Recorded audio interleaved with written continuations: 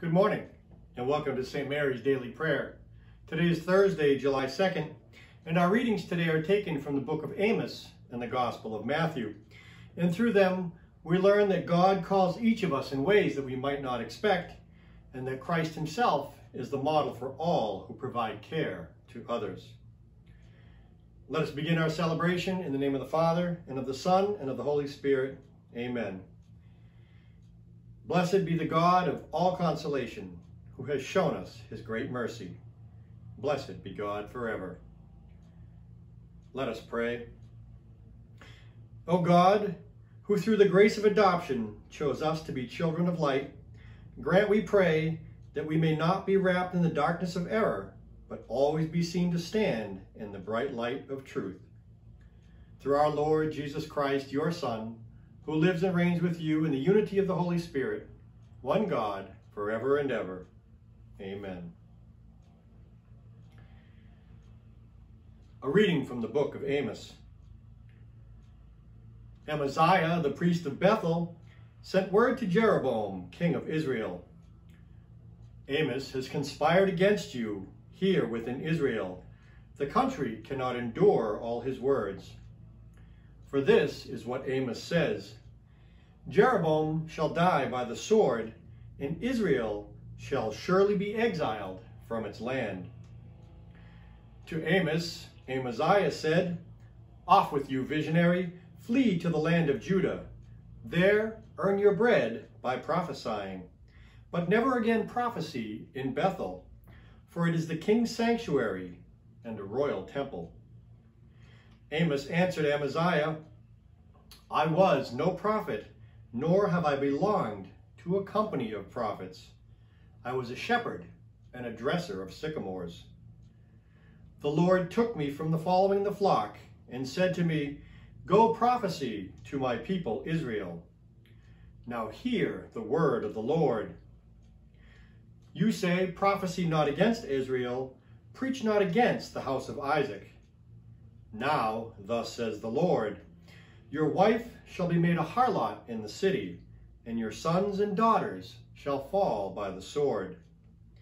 Your land shall be divided by the measuring line, and you yourself shall die in an unclean land.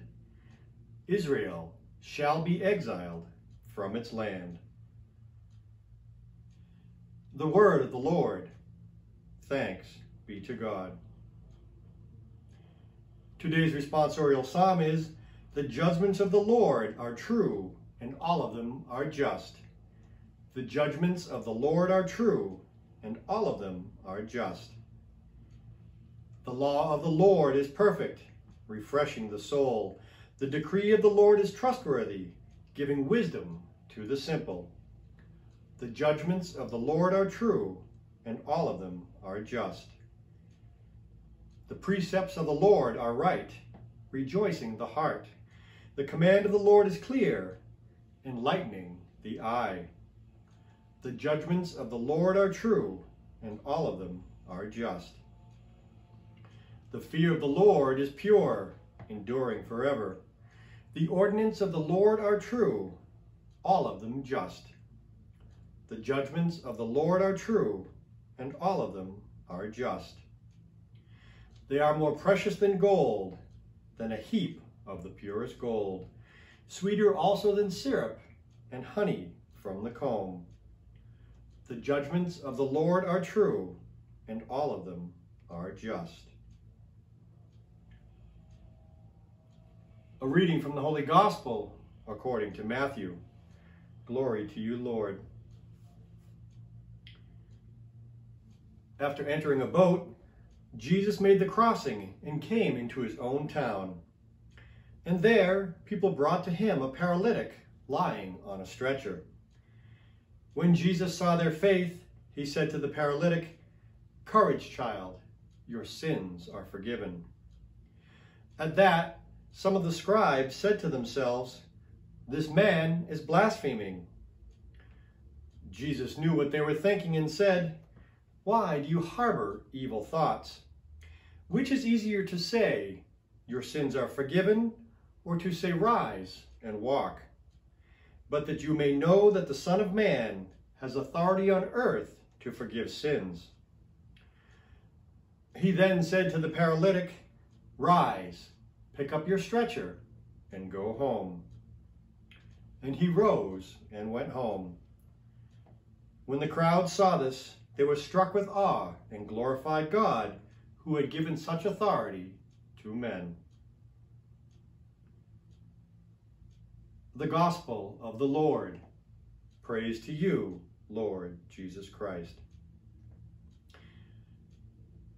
How wonderful it is that the paralytic was cured because of the faith of the caregivers. It was through their intercession that this person was brought to Jesus, both literally and figuratively.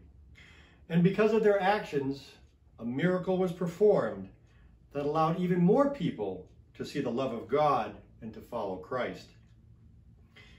May we always remember the caregivers that we encounter, those who have enriched our lives by their faith in God and their faith in us.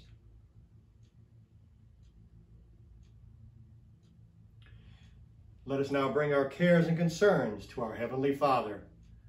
Please respond, Lord, hear our prayer. For our call to stewardship, that we may use our gifts to benefit those who need our help. We pray to the Lord. Lord, hear our prayer.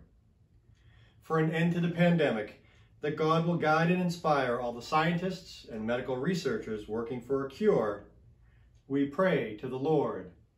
Lord, hear our prayer.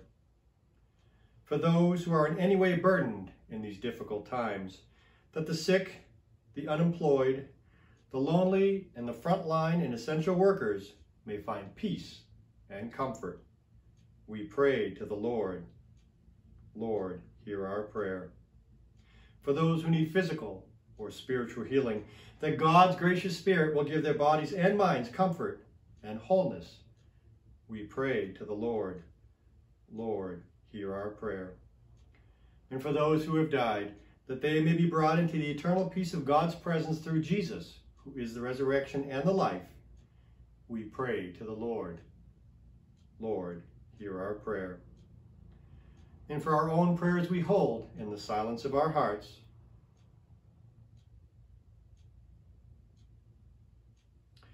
we pray to the Lord. Lord, hear our prayer. Now let us pray as Christ the Lord has taught us. Our Father, who art in heaven, hallowed be thy name. Thy kingdom come, thy will be done, on earth as it is in heaven. Give us this day our daily bread, and forgive us our trespasses, as we forgive those who trespass against us. And lead us not into temptation, but deliver us from evil. Amen. Let us pray. God our Father, help us to begin this day joyfully in your name and spend it in loving service to you and all we meet. We ask this through Christ our Lord. Amen. And may the Lord bless us, protect us from all evil, and bring us to everlasting life. Amen. Go in peace.